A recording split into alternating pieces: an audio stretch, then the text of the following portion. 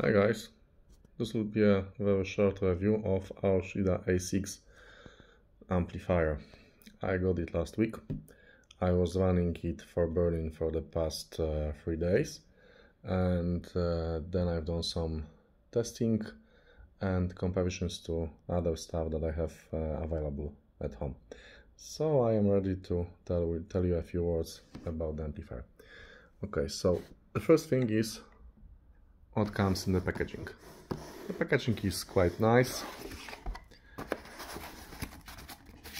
We get power brick, we get two tubes and we get the amplifier along with Bluetooth antenna and some cheesy plastic logo. Okay, that's the logo. We can take it away and we can put it back. We are also getting power brick. Power brick is uh, with 24 volts and 4 amps output, as you can see. And there is a slight problem, at least with my piece. I don't know if you can hear that. I'll shut up for a minute. Anyway, it's buzzing.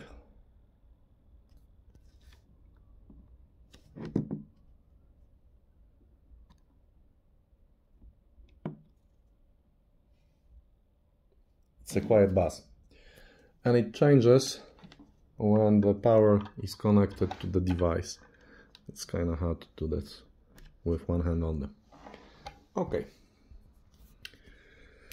So we have a switch for the source bluetooth rca uh, bluetooth uh, is exactly as specified uh, which means that this is a qualcomm 5125 uh, uh, chip and it uh, covers all uh, aptX um, codecs uh, along with LDAC, LDAC. So basically all the goodies that you can have at the moment.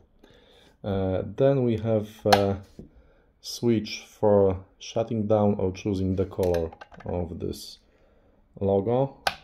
It can be orange or it can be green yeah it's green though I can see on my phone that it looks like bluish color but it's green.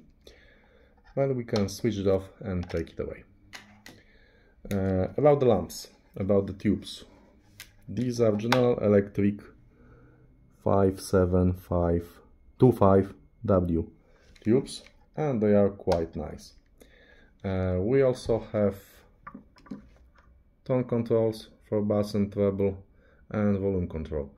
Uh, I'm not 100% sure, but my errors tell me that the neutral position in case of uh, tone controls is as you can see at the bottom. Not as it is uh, usually in with uh, Chi-Fi, somewhere around here.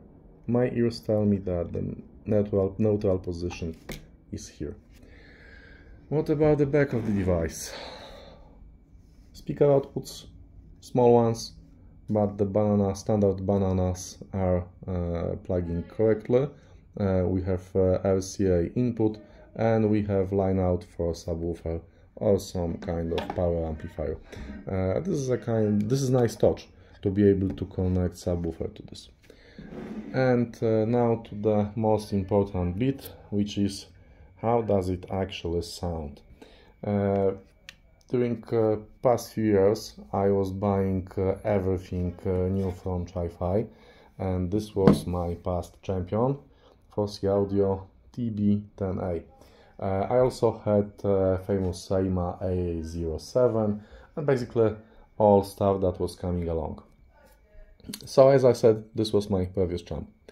Uh, for the testing, I was using Cambridge audio speakers the silver ones there I was using Wharfedale, Wharfedale uh, Evo 4.2s and uh, just to have some fun I was using my Martin Logan Martin Logan Ascents uh, covered here.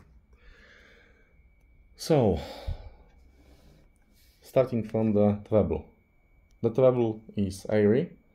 Uh, um, and it's uh, it's quite detailed. In my other video, I was telling you that uh, it's lacking some detail, but then I've done I've done some uh, A to B comparisons between a couple of devices, and I have to correct myself. The treble is fine. There is no detail lacking, although I'm still interested in playing with tubes, in changing them, for example, for with Mullards. Uh, so the treble is fine. It's hairy, it's extended, it's detailed, nothing along with the treble.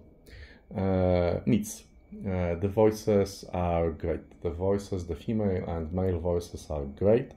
Uh, the mids are not recessed. Uh, they are quite nice.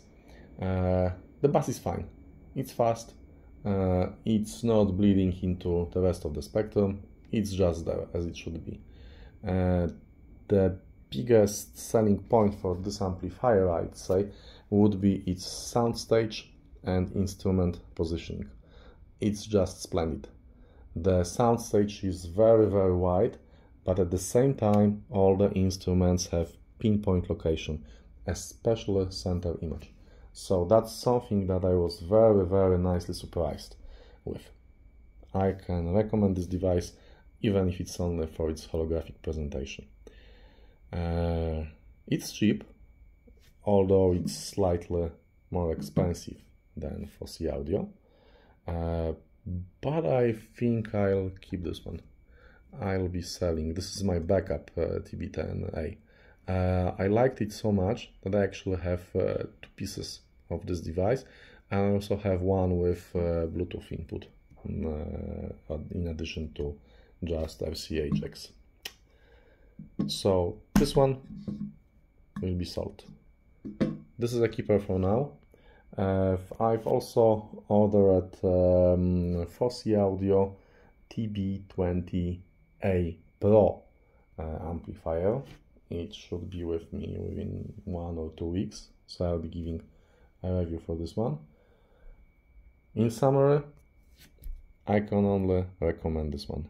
As I said, I had uh, all other cheap or maybe not so cheap amplifiers, including AIYIMA A07, uh, SMSL, SU09, uh, and others. And uh, I can tell you that uh, TPAs uh, 52, 50, 55 were not playing along with me nicely. I don't know, the sound was just too flat. Uh, I rather preferred uh, TPA 3116, which is used in this device. Uh, as for uh, Infineon Merus uh, chips, um, I found them a little bit on the dry side. There was nothing wrong with the soundstage, there was nothing wrong with the treble or the bass, but the mids were kind of mechanic.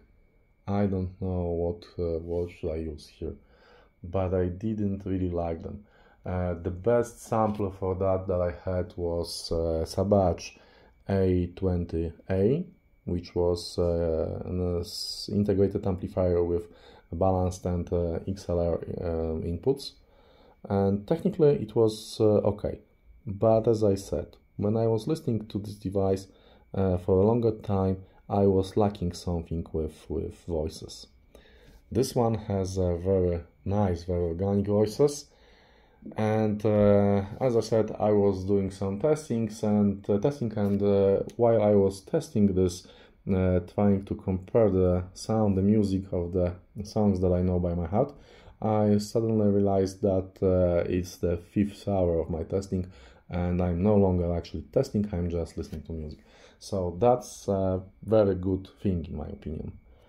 Uh, especially uh, having in mind that my main rig uh, is this uh, Cambridge audio set uh, 851D plus uh, double 851W power amplifiers, which are connected to my Martin Logan Ascents.